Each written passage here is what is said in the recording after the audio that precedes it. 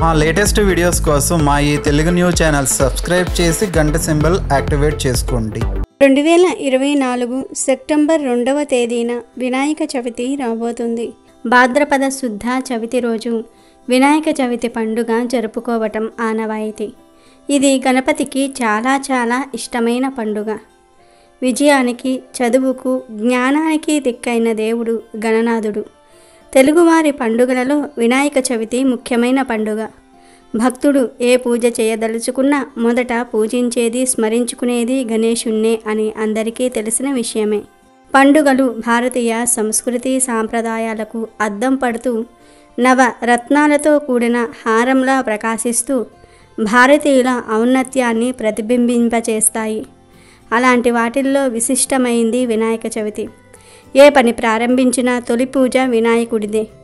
అలాంటి విఘ్నేశ్వర్ని ప్రత్యేకంగా ఆరాధించే పండుగను భారతీయులు కులమతాలకు అతీతంగా ఎంతో వేడుకగా జరుపుకుంటారు.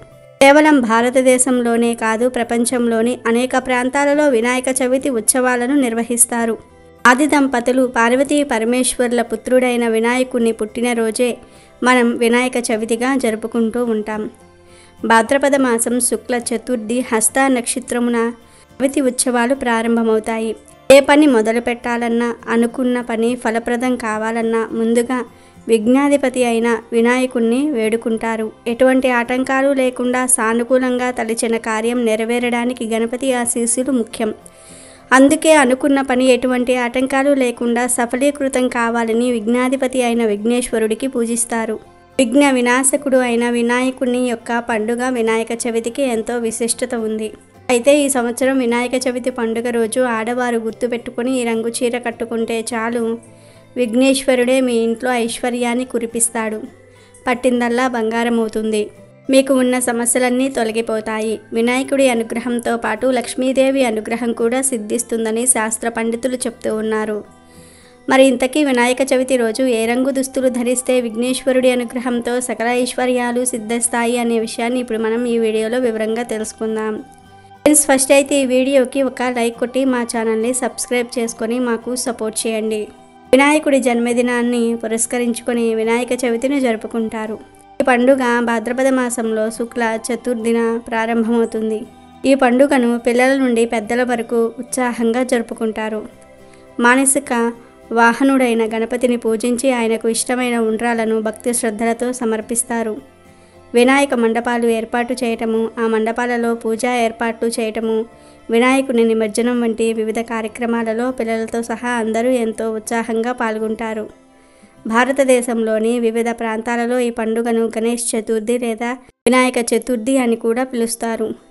ఈ పండుగను ఎంతో ఉత్సాహంగా మహారాష్ట్ర ఇంకా ఆంధ్రప్రదేశ్లో పది రోజుల పాటు ఘనంగా జరుపుకుంటూ ఉంటారు. ఈ పండుగ వెనుక అనేక ఆసక్తికరమైన గాథలు కూడా ఉన్నాయి.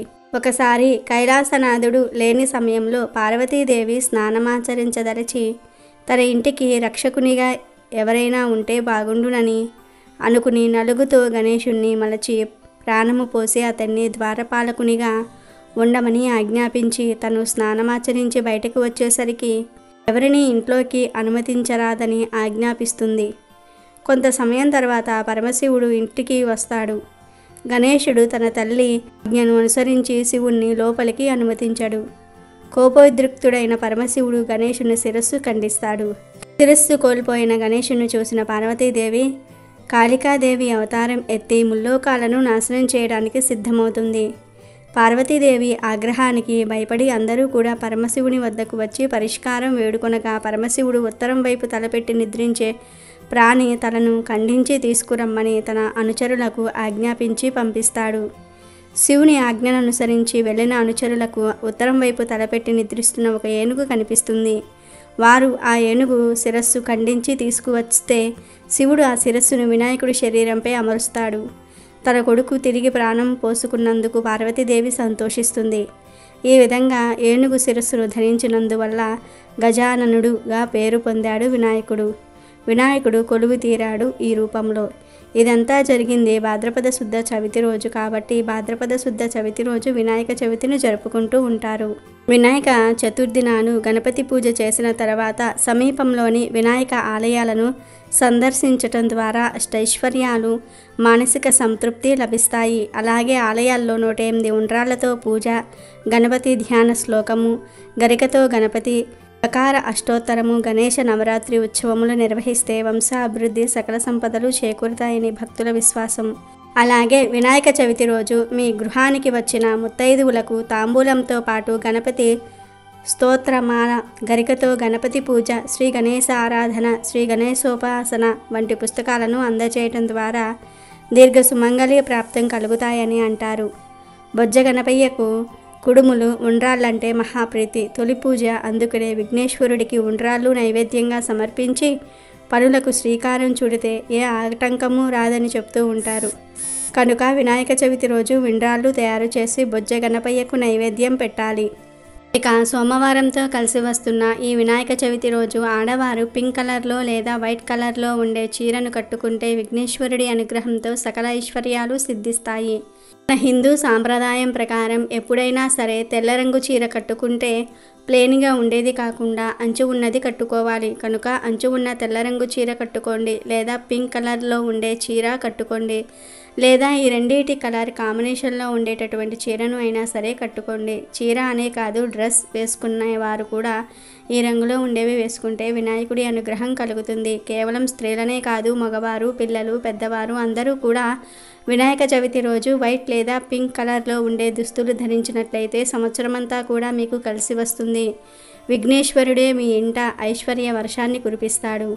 పట్టిందల్లా బంగారం అవుతుంది వినాయకుడి అనుగ్రహంతో పాటు లక్ష్మీదేవి అనుగ్రహం కూడా లభిస్తుంది. కనుక అందరూ కూడా గుర్తుంచుకుని ఈ వినాయక చవితి రోజు వైట్ లేదా పింక్ లేదా ఈ రెండు రంగుల కాంబినేషన్లో ఉండే దుస్తులను ధరించి సకల ఐశ్వర్యాలను పొంది సంతోషంగా జీవించండి. వినాయకుడు మనకు ఉన్న దేవుళ్ళలో అయోనిజుడు పార్వతి రూపుదిద్దిన పిండి బొమ్మ. ఈయన జన్మ సహజ ప్రక్రియలో జరగలేదు. ఈయన ఆవిర్భావం కోసం దేవతల అభ్యర్థనలే తప్ప యజ్ఞయాగాదులు యజ్ఞయాగాలు జరిగిన దాఖలాలు అస్సలు లేవు. పార్వతి చేతిలో ప్రాణం పోసుకున్న పిల్లవాడు గనుక లోకం గణపతిని పార్వతీ సుతుడని పిలిచింది. శివుని చేతిలో మరణం పొంది తిరిగి ఏనుగు తలలో ప్రాణం పోసుకుని గజాననుడు అయ్యాడు. పెద్ద పొట్ట ఉన్నందున లంబోదరుడు అయ్యాడు. విఘ్నాలను ఎదిరించి విఘ్న నాయకుడు అయ్యాడు. ఆయననే నేడు మనం వినాయకుడిగా పిలుచుకుంటున్నాము. దేవతలందరిలోనూ విశ్వవ్యాప్తమైన విలక్షణ స్వరూపం గణపతిది. మనం మనసు పెట్టి ప్రార్థించాలే కానీ వెంటనే కోరిన కోరికలను ప్రసాదించే భక్త సులభుడు బొజ్జగణపయ్య శివపార్వతుల కుమారుడైన వినాయకుడు సంవత్సరంలో ఒక్కసారి అతిథిగా వచ్చి తొమ్మిది రోజులు పూజలు అందుకుంటాడు. ఆ తొమ్మిది రోజులే గణపతి నవరాత్రులు. ఈ గణపతి నవరాత్రులలో వినాయకుడు నమనతో సంతోషంగా గడిపి వెళ్తాడు. క్రమంగా మనల్ని ఎటువంటి విఘ్నాలు లేకుండా ఎల్లవేళలా కనిపెట్టుకుని ఉంటాడని పురాణాలలో చెప్పబడింది. వినాయకుడు నవరాత్రుల తర్వాత పదో రోజు తిరిగి తన తల్లిదండ్రుల స్థావరమైన కైలాసానికి వెళ్ళిపోతాడు. ప్రతి కళలోనూ నైపుణ్యత కలిగిన వినాయకుడు తనను పూజించిన భక్తుల పట్ల కృపతో ఆయా కార్యక్రమాలు కళల ఎందు విఘ్నాలు లేకుండా పూర్తి చేయటంలో సహాయపడతాడని శాస్త్రాలు చెప్తూ ఉన్నాయి. వినాయక చవితి రోజున శ్రేష్టమైన వినాయకుని మట్టి ప్రతిమను ఇంటికి తీసుకువచ్చి ఈ ప్రతిమను నవరాత్రులలో పూజించాలి. నవరాత్రుల తర్వాత విగ్రహాన్ని నీటిలో నిమజ్జనం చేయాలి. ఒక ప్రాంతంలోని ప్రజలందరూ కలిసికట్టుగా ఊరేగింపుగా ఆయా ప్రాంతాల వినాయకుణ్ణి విగ్రహాలను తీసుకుని వెళ్ళి సముద్రంలో లేదా నదిలో చెరువులలో నిమజ్జనం చేస్తారు.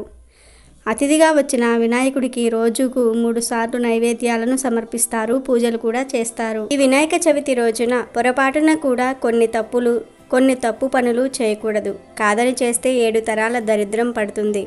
అస్సలు మంచిది కాదు అని శాస్త్ర పండితులు చెప్తూ ఉన్నారు. మరి వినాయక చవితి రోజు చేయకూడని ఆ తప్పు పనులు ఏమిటో ఇప్పుడు మనం ఈ వీడియోలో తెలుసుకుందాం. వినాయక చవితి రోజు ఈ తప్పులు చేస్తే మహా గణపతికి ఆగ్రహం కలిగి మనల్ని శపిస్తాడు.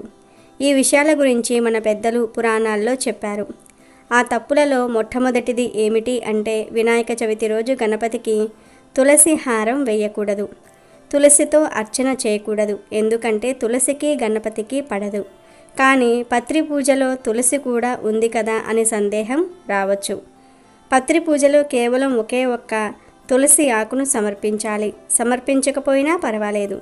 కానీ ఒకటి కంటే ఎక్కువ తులసి ఆకులు గణపతికి సమర్పించకూడదు. తులసిని సమర్పిస్తే నేను శపిస్తాను అని స్వయంగా వినాయకుడే చెప్పాడు. కాబట్టి వినాయక చవితి రోజు పత్రి పూజలో ఒక్క తులసి ఆకును సమర్పిస్తే సరిపోతుంది. ఎక్కువ తులసి ఆకులు వినాయకుడికి సమర్పించకూడదు. వీలైనంత వరకు తులసిని గణపతి పూజలో నిషేధించండి. ఇక రెండవ తప్పు ఏమిటి అంటే వినాయక చవితి రోజు చంద్రుణ్ణి పొరపాటున కూడా చూడకూడదు. చంద్ర దర్శనం నిషిద్ధం. వినాయక చవితి రోజు ఎవరైతే చంద్రుణ్ణి చూస్తారో వాళ్ళకు నీలాపనిందనలు వస్తాయి. ఒకనొక వినాయక చవితి రోజున భూలోకానికి వెళ్ళిన వినాయకుడు భక్తులు భక్తికి మెచ్చి వారు పెట్టిన నైవేద్యాలను సంతృప్తిగా ఆరగించి చంద్రలోకం ద్వారా కైలాసానికి వెళ్తున్నాడు. పెద్ద బొజ్జ పూర్తిగా నిండటంతో కాస్త మెల్లిగా వెళ్తున్న గణపతిని చూసి నవ్వుకున్నాడు చంద్రుడు. అది గమనించిన వినాయకుడు చంద్రుడికి ఎలాగైనా సరే బుద్ధి చెప్పాలని తలచి కోపం తెచ్చుకొని చంద్రుణ్ణి చూసిన వారు నీలాపనిందనలు పొందుతారంటూ శపించాడు. చంద్రుణ్ణి చూస్తే నీలాపనిందనలు వస్తాయని వినాయకుడు ఇచ్చిన శాపంతో జనం చంద్రుడిని చీకొట్టడం మొదలుపెట్టారు. రాత్రైతే చంద్రుడు కనిపిస్తాడని ముఖానికి బట్టలు అడ్డు పెట్టుకొని బయట తిరిగేవారు. ఈ పరిణామాలతో చంద్రుడు సిగ్గుపడి సముద్రంలోనికి వెళ్ళిపోయాడు. దాంతో రాత్రి వెలుగు ఇచ్చేవారు కరువయ్యారు. ఔషధ మూలికలు చంద్రకాంతిలోనే ఔషధములను తయారు చేసుకుంటారని పురాణాల వచనం. సముద్ర అలలు కూడా చంద్రుని మీదే ఆధారపడ్డాయి. ఆ చంద్రుడు మాయమవ్వటంతో ప్రజలు ఇబ్బందులు పడ్డారు. ఋషులు దేవతలు మునులు అందరూ కూడా కలిసి బ్రహ్మదేవుని దగ్గరకు వెళ్ళారు. బ్రహ్మదేవుడితో ఈ విషయం చెప్పి ఒక పరిష్కారం చూపమన్నారు. అప్పుడు బ్రహ్మ గణపతికి మించిన దేవుడు లేడు. ఆయనే పరిష్కారం చూపుతాడని. అనగా అందరూ కలిసి వినాయకుడి వద్దకు వెళ్ళారు. చంద్రుడికి ఇచ్చిన శాపాన్ని వెనక్కి తీసుకోమన్నారు. చంద్రుడు వచ్చి చేసిన తప్పును ఒప్పుకుంటే శాపాన్ని తగ్గిస్తానన్నాడు గణనానుదుడు. దాంతో దేవతలందరూ కూడా వెళ్ళి సముద్రంలో ఉన్న చంద్రునకు ఈ విషయం చెప్పి చంద్రునితో సహా వినాయకుడి వద్దకు వచ్చారు. అప్పుడు చంద్రుడు తాను చేసిన తప్పును ఒప్పుకొని క్షమించమని వేడుకున్నాడు. పశ్చాత్తాపడ్డాడు. విఘ్నేశ్వరుణ్ణి పరిపరి విధాలుగా స్తుతించాడు. సూర్యుడు వెలుగును తీసుకొని ప్రపంచానికి వెలుగునిస్తున్న నీకు అంత అహంకారమా? ఒకరి మీద ఆధారపడి ఉన్నవాడివి నన్నే అంటావా? ఇప్పటికైనా బుద్ధి వచ్చిందా అని స్వామి అనలేదు. తప్పు ఒప్పుకున్నాడన్న ఆనందంతో చంద్రుణ్ణి తల మీద పెట్టుకుని చంద్రుడు పూర్తిగా మారాడన్న ఆనందంతో వినాయకుడు నాట్యం చేశాడు. అప్పుడు వచ్చింది నాట్య గణపతి అవతారం. చంద్రుణ్ణి తలపై ధరించాడు గనుక గణపతి ఫాలచంద్రుడు అయ్యాడు. చంద్రుడికి ఇచ్చిన శాపాన్ని పూర్తిగా తొలగించకూడదు. కనుక ఆ శాపాన్ని వినాయక చవితికే పరిమితం చేస్తూ ఏ రోజునైతే నువ్వు నన్ను చూసి పరిహసించావు ఆ రోజున అంటే వినాయక చవితి రోజు ఎవ్వరూ నిన్ను చూస్తారో వారికి చెయ్యని తప్పుకు నీలాంబ నిందనలు పడతారంటూ చంద్రుడికిచ్చిన శాపాన్ని కుదించాడు మహాగణపతి. కాబట్టి వినాయక చవితి రోజు ఎవ్వరూ కూడా చంద్రుణ్ణి చూడకూడదు. పొరపాటున చూస్తే సమంతోపాఖ్యానం కథ వినాలి. ఇక ఈ వినాయక చవితి రోజు పాలవెల్లి కట్టకుండా వినాయకుణ్ణి పూజించకూడదు. అలా పాలవెల్లి కట్టకుండా పూజ చేసిన ప్రయోజనం ఉండదు.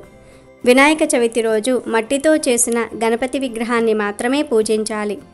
రసాయనాలతో చేసే గణపతి విగ్రహాన్ని పూజించకూడదు. గణపతి విగ్రహాన్ని కొని తెచ్చుకునేటప్పుడు కొన్ని గుర్తులు చూసుకోవాలి. ఎటువంటి గణపతి విగ్రహాన్ని పూజించాలి అనే విషయాన్ని బ్రహ్మదేవుడు ఒక శ్లోకంలో చెప్పాడు.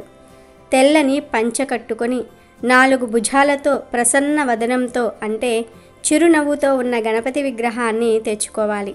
అంతేగాని కోపంగా ఉన్న గణపతిని కానీ సినిమాలకు సంబంధించిన గణపతి బొమ్మలను కానీ పూజించకూడదు. అలాగే మనం పూజించే గణపతికి ముఖ్యంగా బొజ్జ ఉండాలి.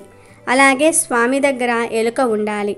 యజ్ఞోపవీతం ఉండాలి. గణపతి ఏకదంతుడై ఉండాలి. ఇలా శాస్త్ర ప్రమాణికంగా ఉండే గణపతి బొమ్మను జాగ్రత్తగా చూసి తెచ్చుకొని పూజ చేసుకోండి. అలాగే వినాయక చవితి ముందు రౌడీయుజం చేసి చందాలు వసూలు చేయవద్దు. బలత్కారం చేయవద్దు. ఎందుకంటే కొంతమంది దగ్గర డబ్బు ఉంటుంది కొంతమంది దగ్గర డబ్బు ఉండదు. ఎవరైనా సరే ఇష్టంగా ఇచ్చారా చందా? తీసుకోండి. ఇవ్వకపోతే ఇబ్బంది పెట్టకండి. లేదంటే మాత్రం వినాయకుడికి కోపం వస్తుంది. అలాగే వినాయకుడి మండపాల దగ్గర పిచ్చి పిచ్చి సినిమా పాటలు పెట్టకండి. కొంతమంది మండపం దగ్గర సినిమా పాటలు పెట్టి చిన్నపిల్లలతో డ్యాన్సులు వేయిస్తూ ఉంటారు. కానీ అలా చేయకూడదు. అది మహాపాపం. మరి ఏ పాటలు పెట్టాలంటే దేవుడు పాటలే పెట్టండి. సినిమాలలో కూడా దేవుడు పాటలు ఉన్నాయి కదా? ఆ పాటలు కూడా పెట్టుకోవచ్చు. గణపతి మండపం దగ్గర పిల్లల చేత మంచి పాటలు పాడించండి. భరతనాట్యం నేర్చుకునే పిల్లలు ఉంటే ఆ పిల్లలతో నాట్యం చేయించండి. వీలుంటే హరికథలు చెప్పండి. వీలుంటే మండపం దగ్గర పేదవారికి అన్నదానం కూడా చేయండి. రక్తదానం కూడా చేయవచ్చు. ఇలా మండపాల దగ్గర పుస్తకాలు పెన్నులు దానం చేసినా కూడా చాలా పుణ్యం కలుగుతుంది. అలాగే ఆడవారు మండపం దగ్గర పూజకు వెళ్ళినప్పుడు సాంప్రదాయబద్ధమైన దుస్తులు ధరించి వెళ్ళండి. టైట్గా ఉండే జీన్స్ ప్యాంట్లు వేసుకొని జుట్టు వెరబూసుకొని వెళ్ళకండి. మగపిల్లలు చిరిగిపోయిన ప్యాంట్లు వేసుకొని వెళ్ళవద్దు. నిక్కర్లు వేసుకొని జుట్టుకు రకరకాల రంగులు వేసుకొని వెళ్ళవద్దు. లంగా ఓణి చీర పంచ ఇలా సాంప్రదాయబద్ధమైన బట్టలు వేసుకొని బొట్టు పెట్టుకొని చక్కగా జడ వేసుకుని పూలు పెట్టుకుని వెళ్ళండి. అప్పుడు మహాగణపతి అనుగ్రహం కలుగుతుంది. మండపాల దగ్గర చెప్పులు షూలు వేసుకొని తిరగవద్దు. మద్యపానము ధూమపానము చేసిన వారు మండపాల దగ్గరకు వెళ్ళవద్దు. కొంతమంది మండపాలలో వినాయకుడి వెనుక మందు చీసాలు పెట్టి అందరూ వెళ్ళిపోయిన తర్వాత రాత్రిపూట ఆ మందు తూసి తాగి పార్టీలు చేసుకుంటూ ఉంటారు. కానీ పొరపాటున కూడా అలా చేయకండి. ఖచ్చితంగా కష్టాలు వస్తాయి. జన్మ జన్మల దరిద్రం పడుతుంది. ఇప్పుడు చెప్పిన పనులేమీ కూడా వినాయక చవితి రోజు చేయకూడదు. ఏడు జన్మల దరిద్రం పడుతుంది. వినాయకుడికి విపరీతంగా కోపం వచ్చేస్తుంది. కాబట్టి వినాయక చవితి రోజు ఎవరు కూడా ఈ పనులు చేయకుండా జాగ్రత్తగా ఉండండి. వీడియో నచ్చితే లైక్ చేయండి షేర్ చేయండి. బట్ సబ్స్క్రైబ్ చేసుకోవడం మర్చిపోవద్దు.